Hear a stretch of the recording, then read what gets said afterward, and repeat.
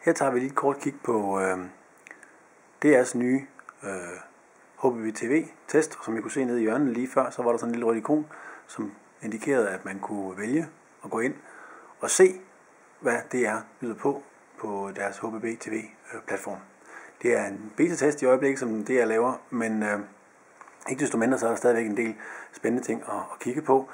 Det, som man, øh, man ser nu her, det er, at de vælger at køre det som en slags øh, overlay. De lægger altså en øh, information ind over det tv-billede, tv-signal, der kører i baggrunden. Og her har du mulighed for at vælge forskellige ting. Fik du set, der er nyheder, der er højdepunkter, forpremiere. Mest se det sidste chance. Øhm, og hvis man så vælger øh, punktet, så kommer der en liste op med de ting, øh, som man kan anbefale. Så det var, var der nogle ting, man fik, man fik set. Man kan gå tilbage igen. Sige nyheder, hvis jeg vil sige nyhederne. Hvad har vi af, af højdepunkter?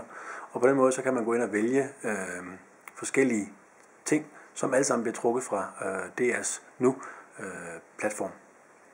Forpremiere, mest se det, og der kan man gå ind og sige, jamen fint, vi vil gerne prøve at se, øh, hvad det er, der er, øh, for eksempel X-Factor.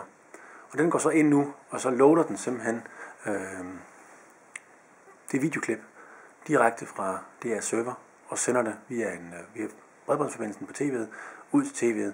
Og øh, som vi kan se, øh, så er kvaliteten faktisk ganske udmærket. Jeg kan lige prøve at slå lidt lyd til, så I lige kan høre, hvordan det, hvordan det lyder.